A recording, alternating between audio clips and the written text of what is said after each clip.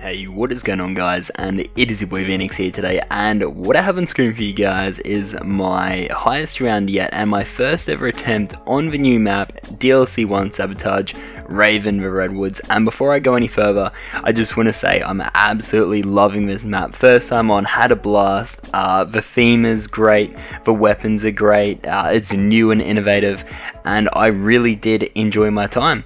Anyway, guys, so the round I got was round 53, and currently it is 6 in the world, so I'll take that. Uh, before I actually started the game, when I did check the leaderboards, the uh, highest round was like 44. So if I did do it before, then I would have been first. However, while I was playing, someone got a higher round. I think the highest right now is 67, and my highest was 53. And keep in mind, this was my first ever attempt, and we're going to get into the strategy soon. And the strategy is honestly really, really simple.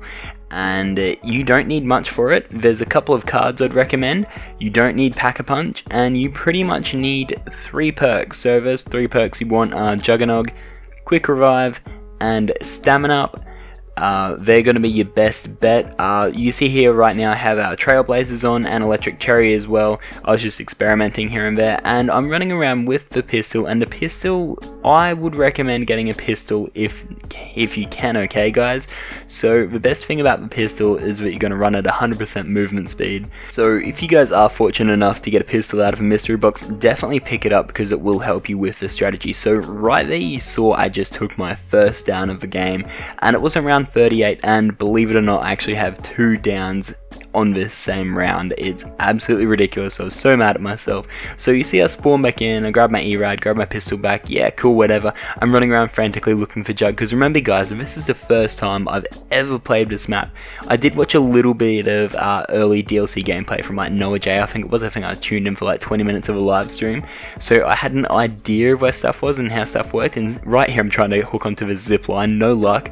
I try and run to the right side of me, zombies are popping up, I'm like, oh fuck, okay, maybe the zip line here will work.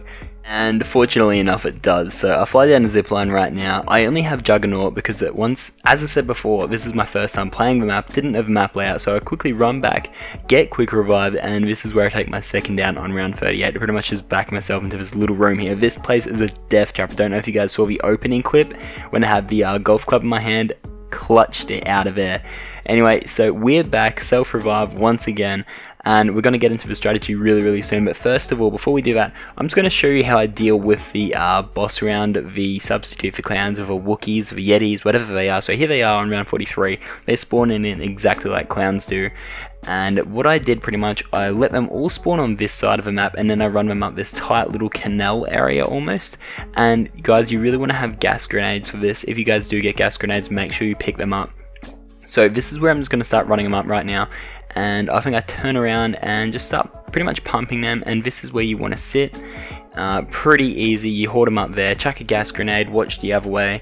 Uh, probably the best spot to take these guys out from. These guys really aren't that hard either so you shouldn't have too much of a challenge but this is just where I went every time these guys spawned in. So max ammo as per usual so don't be shy of the gas grenades or any of your ammo just like clown rounds guys. And you see I'm only using two perks here because I just went down again after the second down in round 38 so I just ended up pretty much running these two perks for the rest of the game. So this is the actual strategy here guys. So this trap, what I'm running to right now, is fucking OP. It is ridiculous. I think it can get up to anything like 60 to 70 kills per use and it recharges roughly around every 45 seconds or so. And if you guys were wondering why I was uh, traveling so quick, through the uh, water, it's because you actually slide and you don't slow down or anything and you keep all your momentum guys. So as you saw just there before, I chucked the gas grenade on the stairs once I hold them up and then I run back to this trap. So quick recap, what you want to do, you want to hoard them up, get them to that trap, okay, run them again, hold them back up, gas grenade on those stairs, then run back to the trap and you'll be good to go. Uh, what I recommend for this, for Fate and Fortune cards, definitely Nade Party and Eagle Eye if you guys have it, because the uh, KBS Longbow is uh, just a little bit further up, and if you pick that up and activate Eagle Eye, it's a one shot to like round 80. So if you need a quick escape from something or you need to kill a couple of zombies really quick, see, I think it will show it right here actually. So watch this, round 53 and gone one shot with the longbow, absolutely insane. Eagle Eye is actually really good, guys. Give it a go. Uh, I'm definitely going to go for a higher round attempt soon. Uh, as I said, once again, uh, this was my first ever attempt on Rave in Redwoods. Uh, I think I've done a fantastic job, guys, and this is actually where I down, I believe? No, no, it's not where I down. Uh, it's up a little bit further, but yeah, this is the strategy. Hopefully you guys did enjoy it. If you guys are new around here, click that red shiny subscribe button, and as always, have marvelous day.